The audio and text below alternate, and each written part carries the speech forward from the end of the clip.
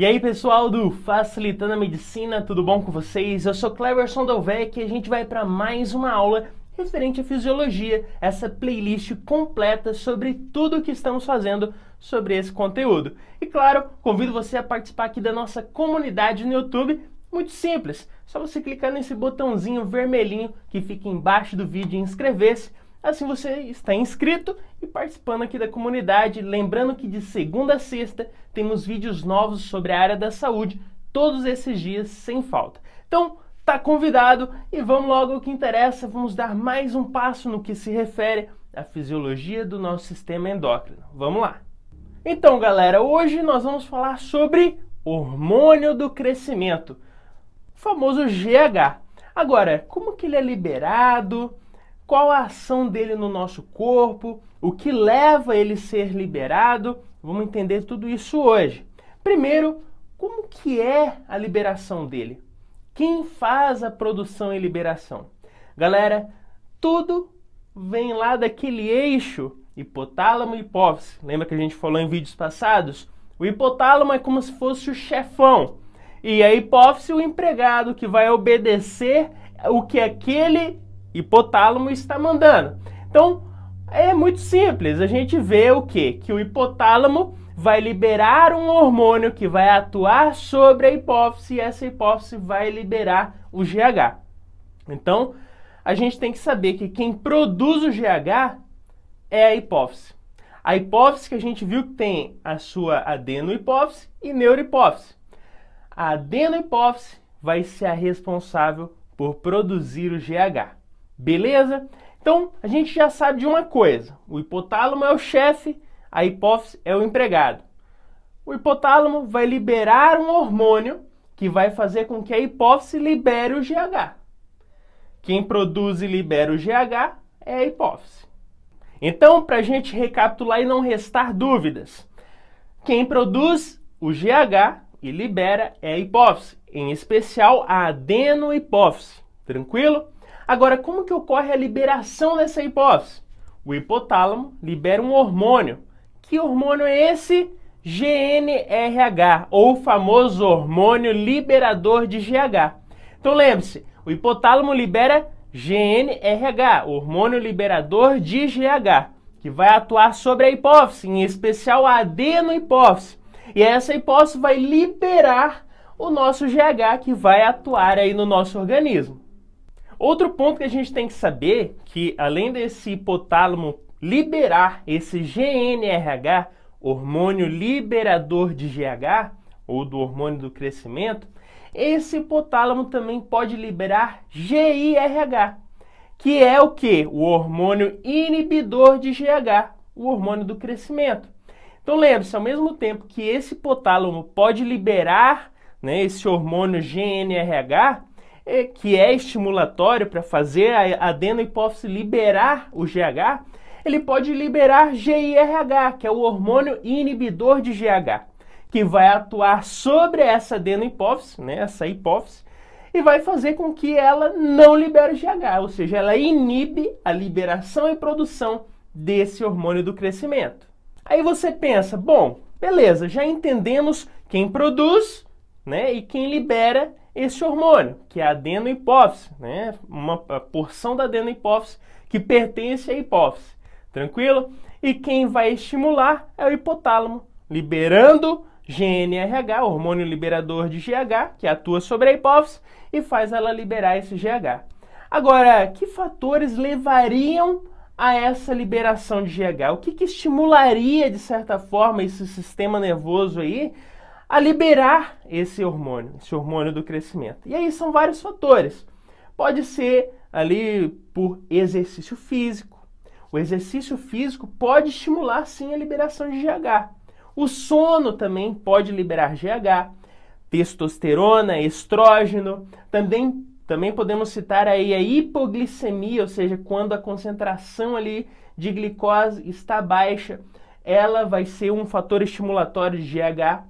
Também a alta de aminoácidos, a concentração de aminoácidos e a baixa de ácidos graxos. E também a gente pode citar o estresse como um fator estimulatório e a idade. Quanto mais nova a pessoa, maior a tendência de produzir o GH.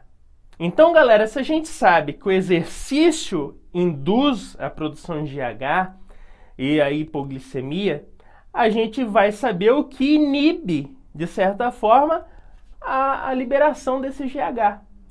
E aí a gente já sabe o contrário. Se exercício leva à produção de GH, a obesidade, o sedentarismo vai, de certa forma, inibir. Vai inibir a liberação de GH. Também a hiperglicemia, a alta concentração desse ácido graxo, a baixa concentração de aminoácidos, também a baixa concentração de testosterona e estrógeno. Também podemos citar ainda, galera, o GH exógeno. Se você aplica GH, né, de certa forma ali exógena, você inibe a liberação de GH, porque ocorre o feedback negativo. Tranquilo? Então lembre-se, uso de GH exógeno inibe a liberação de GH pelo próprio corpo. E também a produção de IGF, que é o fator semelhante à insulina, que a gente vai entender mais à frente o que, que seria esse IGF. Daqui a pouco a gente vai entender. Então, galera, nós temos fatores que induzem esse sistema endócrino a liberar e produzir GH e outros fatores que inibem essa liberação. Agora, galera, a gente tem que saber que esse GH, esse hormônio do crescimento, ao ser liberado, ele pode ter uma ação direta do corpo, que a gente vai ver daqui a pouco quais são essas ações, ou ela pode atuar sobre o fígado.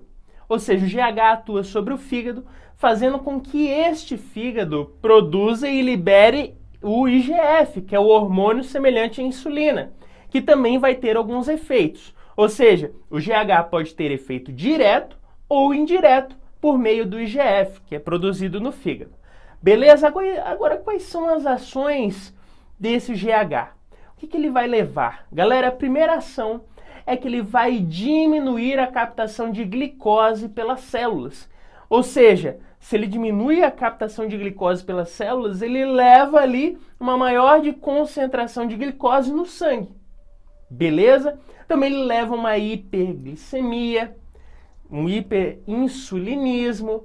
Também pode citar aí a gliconeogênese, ou seja, ele faz a produção de glicose a partir de outros elementos, outros fatores.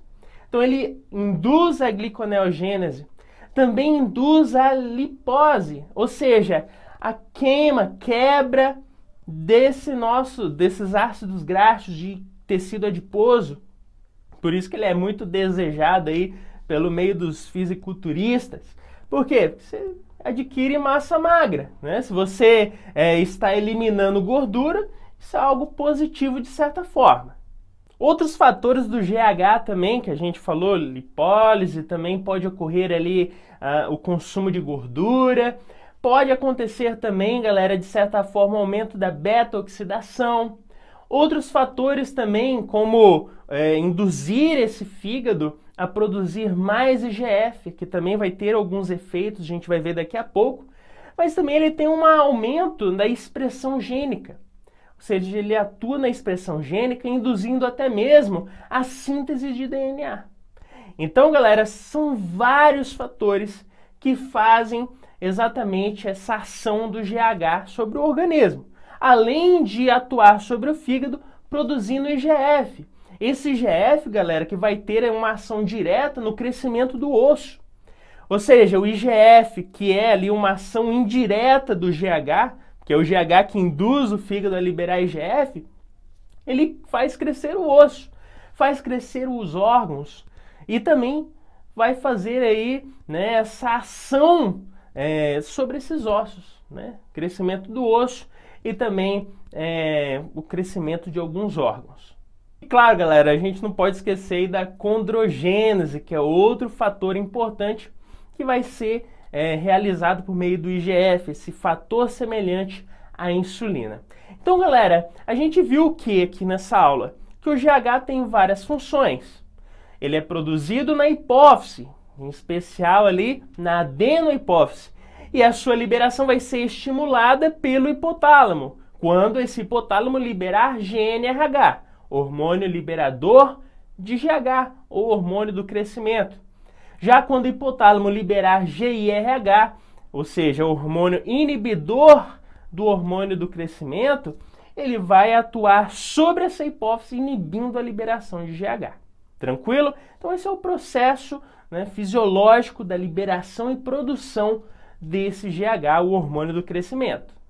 Então, pessoal, com isso a gente finaliza aqui essa aula referente à fisiologia do sistema endócrino. Espero ter te ajudado. Se inscreve no canal e te espero no próximo vídeo referente à fisiologia. Valeu!